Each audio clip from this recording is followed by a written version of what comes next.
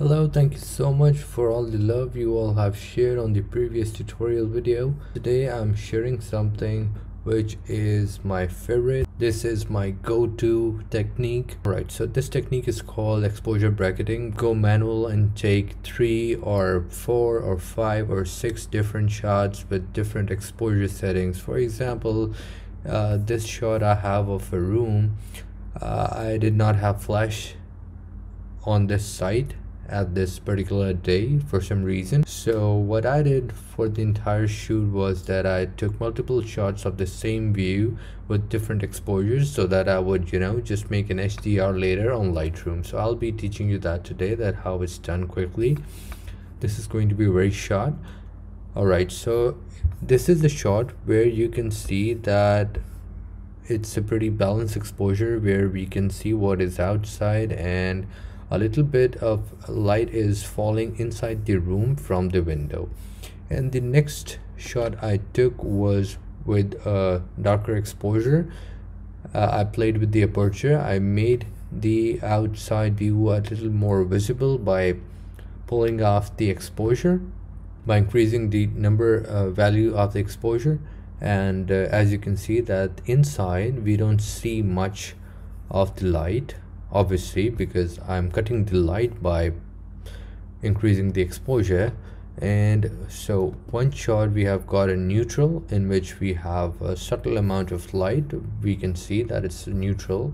A little bit of light is uh, falling on the ceiling on the roof coming from the window. This is the main light source we have. And then the next shot I did was dark in which we got a very clear understanding that what is outside it is a daytime. The sun is scorching bright as you saw in the previous image. And now we need to make another frame in which we get more light inside the room. So I not only just uh, turn my exposure down I also turn down my shutter speed a bit. And then there's another one as a neutral shot so I'm probably going to use any three of those. So let's just quickly take these photos to the Lightroom.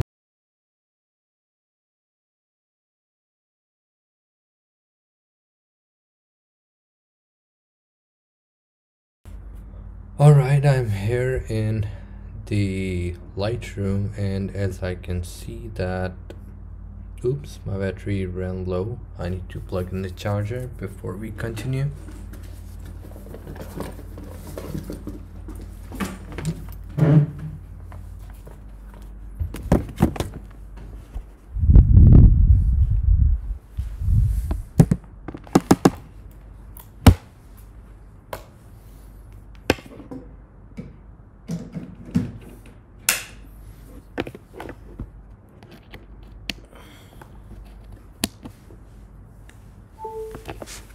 all right here we are back again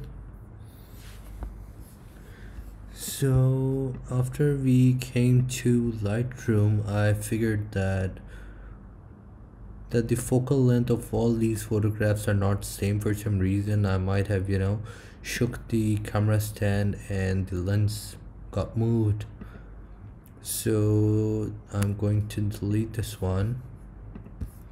And I'm going to delete this one too. And I'm only going to keep the first and the last one so this is the one in which we have neutral light outside and the other one in which everything is blown out outside and we have massive amount of light inside with a great quality.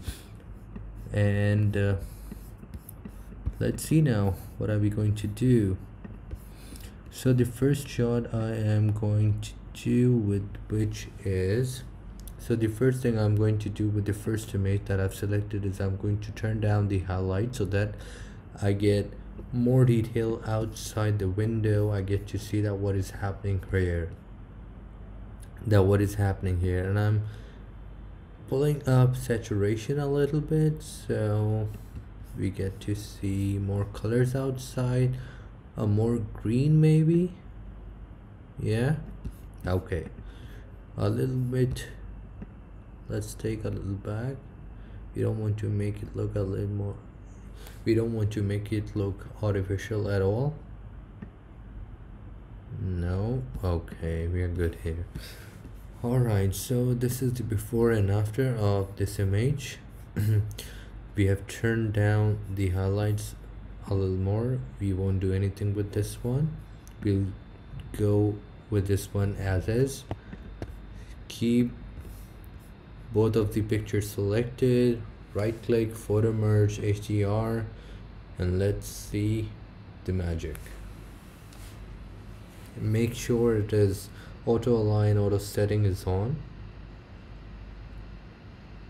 You can try auto settings off as well just to see what it shows.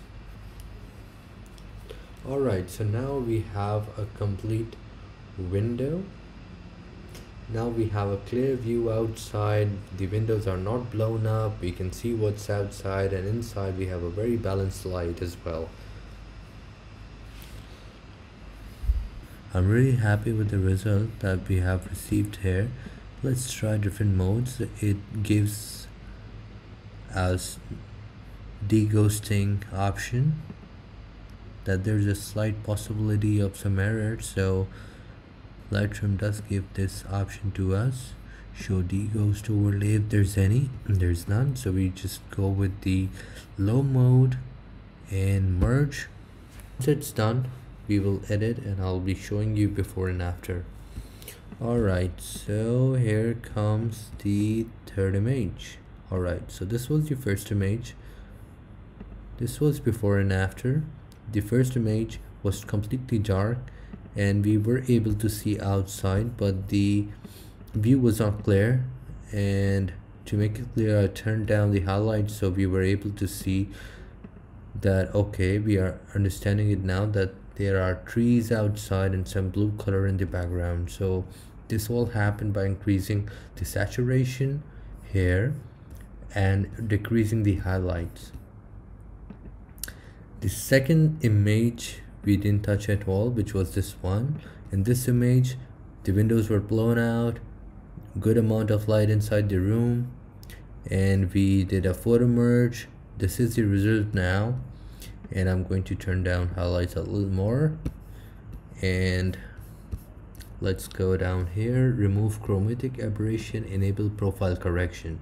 So whenever you're using a wide angle lens shooting real estate or interior decoration shots. The first thing you gotta do is to enable profile correction because when you do that you see there's a slight curvy your image is unnoticeably spherical at the edges but when you hit this enable profile correction you see the difference. But now we need to work on these sides which are pretty dark which are still dark at the moment. One last thing which needs to be done here is that i'm going to select this spread tool and i'm going to increase the exposure on these sides just like this. That's it that's it that's it. But from my end this is done but if you, if you want like if you want you can also you know add a little bit of brightness from the bottom going towards the top control it don't overdo it and then you can also control the windows with this brush tool. All you have to do is just adjust the size paint it over the windows. Once it's done I'll tell you what to do alright. So we will just simply turn the highlights down. Can you see the difference? And we want clarity. We want dehaze to happen a little bit. We want saturation to happen. We want the saturation outside. We want to see the colors outside the window. Now we will unpaint the pillars between the windows so we don't see that. Um, I'm holding option key and I'm painting again here. So it is cancelling my brush that has been applied just now here. Alright this is done. I'm not doing it too carefully because this is just for the sake of education and I know I don't want this to be a lengthy video.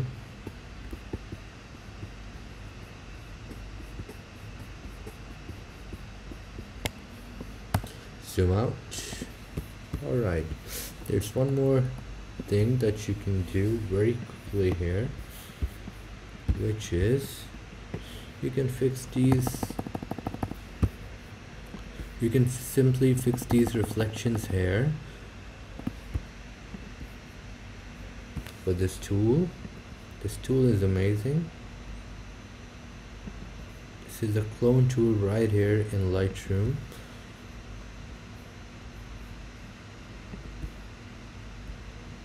My Mac is acting up because one it's not charged. Another one is that if you're running out of space it's full.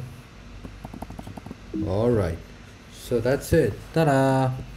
These were the two images i'm gonna show you before and after. This was the first one. This was the second one. We did not do anything on the second image which was blown out deliberately. And this is the outcome. You can tell me your uh, views about this quick technique of exposure bracketing and remember that you can also do multiple shots in exposure bracketing. You can go up to six shots depending upon your situation. But if you're running short of time two shots would also do the job.